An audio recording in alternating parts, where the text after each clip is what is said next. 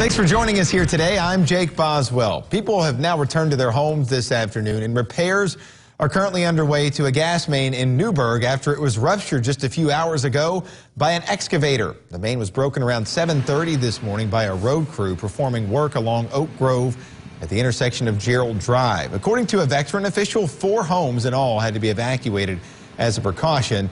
Those living in the homes have been allowed to go back in right now. Gas is no longer leaking out of that main.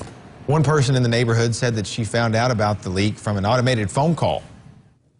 Just had a message on it to stay and lock your doors, your windows, and stay inside. Yeah, I didn't want to leave because I thought I don't want to start my car because who knows. now we're told gas service will be restored today once all of those repairs are finished up.